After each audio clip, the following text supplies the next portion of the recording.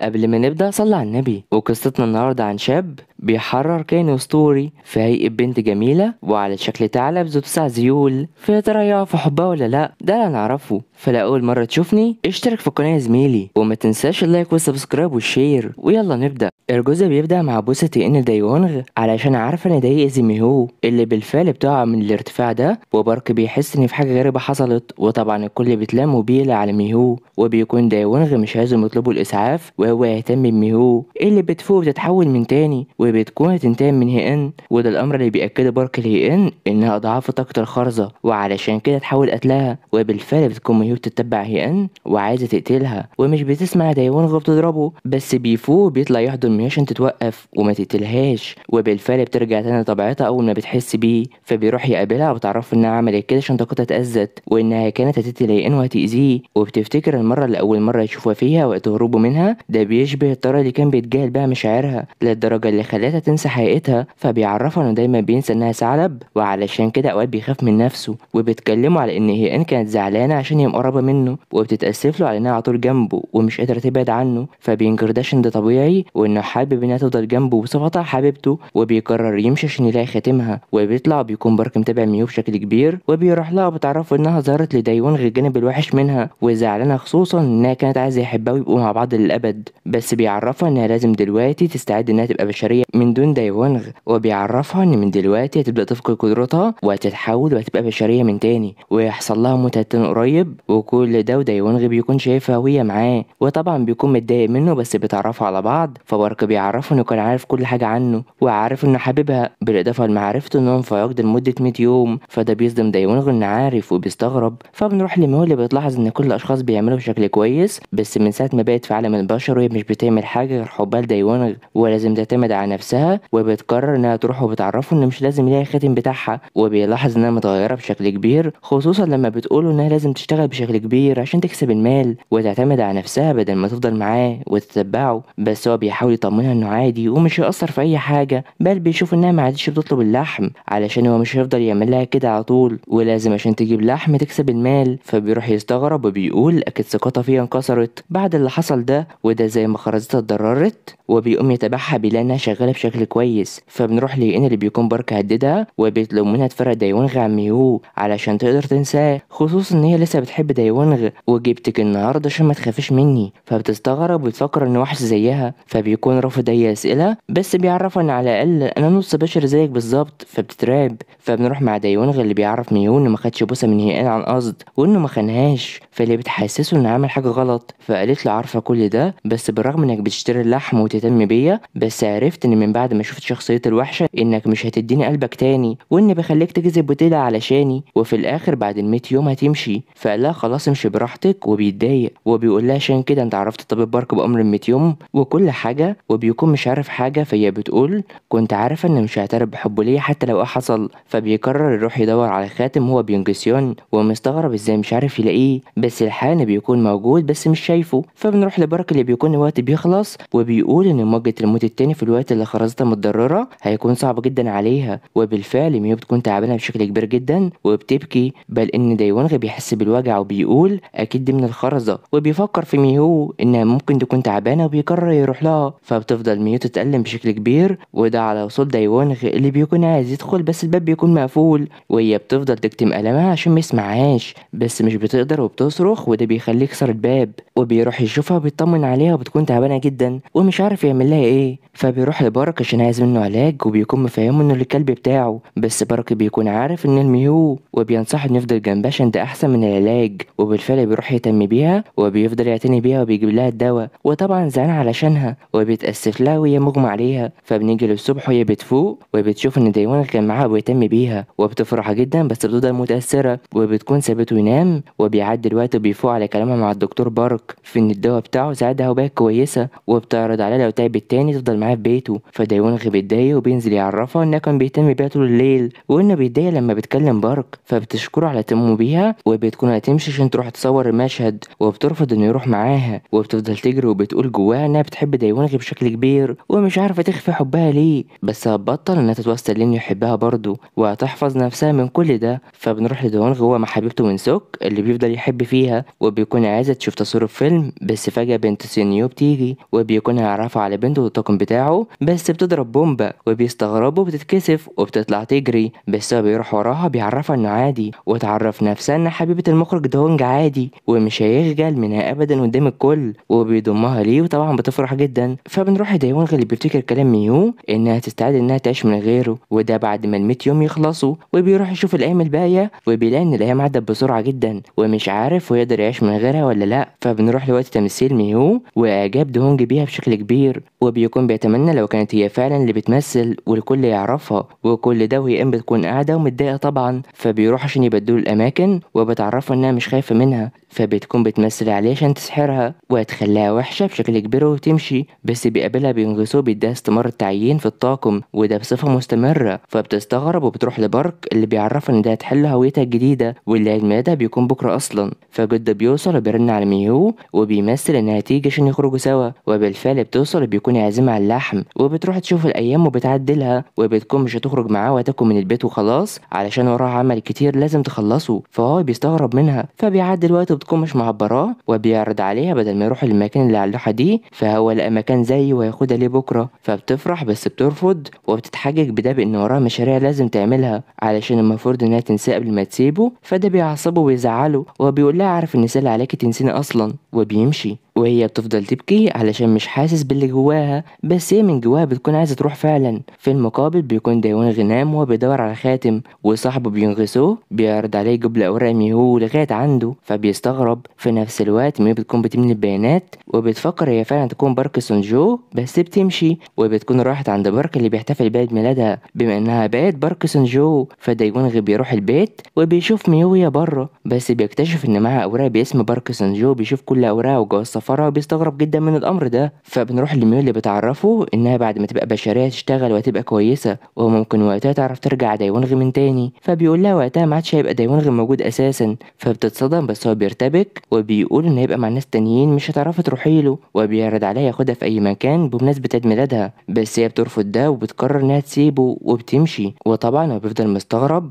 وده على وصول دايونغ ليها لمقابلتها ومع الأوراق بتاعتها. بس الحقيقة إنها بتكون نزلت وبيكون طلع وبيروح يواجه بارك اللي بيعرفه إن بارك سنجو كانت هديه اداها لميو عشان تعيش كبشرية من تاني. وبيعرفها إنه كان عارف حقيقتها خصوصا إن مش بشر كليا برضه والمفروض دلوقتي تسيب ميو فبيتعصب وبيفضل مصدوم بشكل كبير بس بيروح بيفضل متأمل في الاسم ومش عايز ميو تعيش مع بارك بل بيكون مش عارف يعمل إيه خصوصا بعد ما حب ميو وبيفضل يفتكر في كل ذكرياته مع ميو في إنها تفضل معاه دايما وهتتتبعه وقد إيه كانت بتعبر عن حبها ليه بشكل كبير بس الحقيقة بيقول في باله إنه بيحب ميو والمفاجأة إنها بتكون واقفة وبيستغرب لما بيشوفها بس هي بتفرح وبتفرح أكتر من المكان فبيقرر يقول لها إنها ما تسيبهوش. علشان عايزة تكون معاه دايما حتى لو كانت مختلفة عنه. بس الحقيقة إنه بيحبها والحقيقة إن اختلافك عني حببني فيك أكتر. فهي بتفرح جدا وبتقول له بما إنك بتحبني فأنا أبقى بشرية لما الخرز تفضل جواك ل 100 يوم. فبيفكر الناس تغليته وكانت بتحبه علشان عايزاه. بس بتنكر ده علشان هو اللي كان قدامها وانها حبيته وعلشان كده احتاجت له. فبيروح لها بيقول لها لو احتجتيني ممكن تستغليني عادي بس وعديني إنك مش هتسيبيني. فبتوافق ومن هنا بيحضنها وبيكون هما الاتنين فرحانين بشكل كبير وبيفضلوا حاضنين بعض لفترة كبيرة فبيروحوا بيعرفوا إن النهارده عيد ميلادها وبيغني لها أغنية مميزة أكتر وبتفرحها بشكل كبير وبيخلص وبيقرر يبوسها لأول مرة بينهم. وطبعا بينسجموا سوا بس فجأة الخرزة بتتعبه وبتمنعهم من انهم يكملوا بوس في بعض علشان هي اتضررت لما باس إن. وبتفضل تخليه يحاول عشان تتباس أكتر بس ده بيكون صعب عليه. فبيعدي الوقت وبارك بيكون متابع علاقتهم اللي بقت كويسة. وكان عايز يبعد عن دايونغ علشان ما تعرفش بأمر موته بس مش هيعرف يعمل ده حاليا. فبنروح لميو اللي بتكون بتحضر خطط لجوازها من دايونغ وبتكون بتفكر في المستقبل وبيروح يمثلوا إنهم هيتجوزوا ويخلفوا ولاد كتير واللي بيكونوا عايزين اللحم زي أمهم برضه وده مجرد التخيل معاه بيتصدم وبيوقفها عن تنفيذ خطتها دي علشان لازم يستمتعوا بحياتهم الأول. وبيطلع يقول للخرزه كنا بدأنا نجيب أطفال من دلوقتي بس هي بتفضل تخطط لحياتها الجاية بكل سهولة بل بتروح تاخد نصايح من بائعه الدجاج كمان. فبنروح لميو اللي بتروح لبارك وبتعرفه أمر علاقتها مع دايونغ وإنها تعيش معاه بشكل كويس فبيقولها من دلوقتي همشي من المكان ده علشان مش بيفضل في مكان واحد لوقت طويل. بالإضافة انه كسر قاعدة خصوصا انه ما كانش بيتواصل مع أي شخص بس عمل كده وتواصل معايا شخصيا علشانها وكان بيتمنى تروح معاه ويعيشوا في جزيرة بس بتعرفه إنها بتخاف من المياه علشان هي مصنوعة من النار أساسا وبتتفق معاه قبل ما يمشي توري له ذيولها فبتمشي بس الطفل ده بيمشي وراها واللي مش بيكون في حد شايفه وبيكون مخلوق غريب زيهم برضه وبيفضل متتبع ميهو لغاية موقع التصوير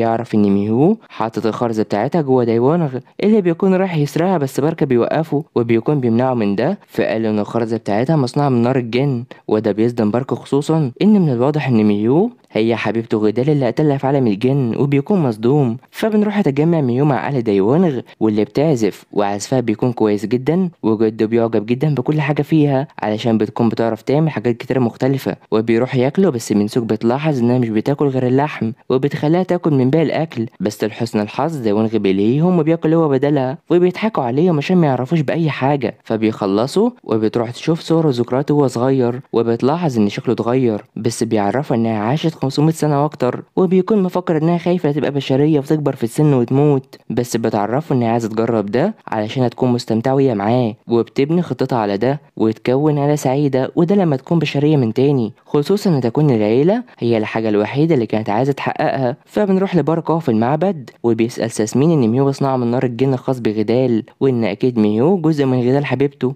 ومعنى كده إن قررت الغلطة من تاني بتحولها للبشرية وبيفضل زعلان وبيبكي. فبنروح لميو ليا ودايونغ ماشيين وعايزة تحس إنهم مرتبطين عادي وبيقرروا ينسوا أمر الخرزة وهي بتحاول تجرب وضعيات إنها تحضنه. بس بيقرروا يمسكوا ببعض وبيمشوا هما فرحانين جدا. فبيروحوا ميو بتطلع الأول بس بتلاقي الدكتور بارك اللي بيقولها إنها وحشته وبيقرر يحسس عليها عشان جه هنا علشان يشوفها وده علشان هي وحشته بشكل كبير ومش هيمشي زي ما قالها ابدا ويفضل يحميها. فهي بتقوله لأ عادي علشان أبقى بشرية قريب وأكون مع دايوانغ فبيقرر برضه إنه يفضل ويحميها. فبيروح وبيقرر إنه يمسك الجن الصغير ده ويحمي دايوانغ علشان يخلي خرزة كويسة. فبيعدي اليوم وبيكون دايوانغ عند دوهونغ اللي في مشهد لازم يروح يصوروه في الصين. وبيتفاجئ لما بيعرف إنه قاعد شهرين هناك. وطبعا بيكون مستغرب ومتردد إنه يروح ويسيب ميول لوحدها علشان هي طفلة بالنسبة ليه. فبنروح لميول بتسأل هيئين عن سبب كرهها ليها فبتقول لها عشان أنت بتمثلي إنك بشرية وبتتعاملي مع الناس بشكل كويس بالإضافة إنك اخدت دايونغ مني وده كان حبيبي فبتخلص وبتكون زعلانة وعايز دايونغ يروح في عمله.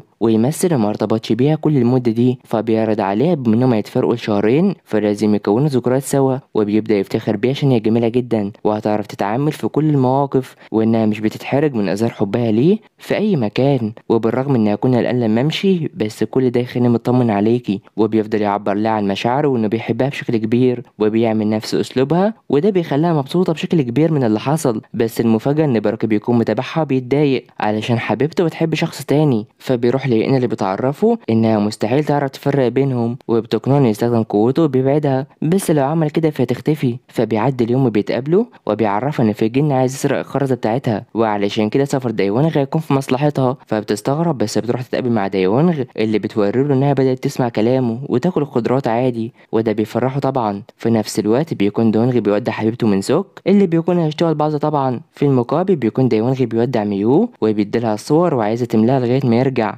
وبيروح يبوسها وبيسافروا بالفعل. بس الحقيقة إن الجن الصغير بيكون عايز يسرق الخرزة من ميو اللي بتكون هتقيم مع جد دايوانغ وبتقرر تتصور وتشارك كل الموجودين في البيت وبتتقرب منهم وطبعا بيحبوها وأي شخص بتتقابل معاه بيحبها وبتتصور والأيام بتفضل تعدي. فبنروح دايوانغ اللي بيكون نزل أجازة قصيرة علشان يشتغل ميهو اللي متشوق لردة فعلها بشكل كبير. بس الحقيقة إنها بتكون عند بارك وبتعرفه بإن دايوانغ مش بيرد عليها فهو بيعرض عليها البيت اللي هينتقل معاها فيه. بس هي بتفضل ممانعة إنها تسيب دايوانغ بس بيقنعها إنها لازم تعمل ده عشان الجن الصغير ما ياخدش خرزة من دايوانغ وتفضل بعيدة عنه. وهو في اليوم الأخير هو اللي هيجيب لها خرزتها وبيعرفها إن قبل عودة دايوانغ من الصين. فهي هتروح معاه للبيت ده ومش بتكون عارفة تقول لدايوانغ إيه. في المقابل بيكون دايوانغ ماشي والجن الصغير بيمثل عليه إنه تعبان. وأول ما بيشوفه بيضربه وعايز ياخد الخرزة وده الأمر اللي بارك بيحس بيه وبيروح عشان يواجه الجن ده. فبنروح للجن الصغير اللي عايز يخرج الخرزة من غير ما يأذيها. بس دايوانغ دايوانغ بيفوق وبيعرفها ان ميو خدعته علشان لو فضل محتفظ بخرز جواه فهيموت. بس دايوانغ مش بيكون مصدقه وهنا بارك بيوصل وبيهدف على خنجر وبيجرحه. بس بيهرب منه وجن الطفل بيجي يهرب بس ميو بتمسكه في حين إن دايوانغ بيواجه بارك بإنه عارف إنه هيموت. لو الخرزة فضلت جواه في نفس الوقت بتفضل ميو ماسكة الجن الصغير اللي بتلومه علشان مش عايز يسيبها تعيش مع دايوانغ براحتها فبيواجهها إنها شريرة علشان الخرزة تمتص طاقة دايوانغ وهيموت في النهاية. فبتتصدم وبيعرفها إن بارك عرف بالأمر ده والجن الصغير ده بيمشي ومعادش يقرب من دايوانغ من تاني. فبنرجع تاني لبارك اللي بيكون فاهم دايوانغ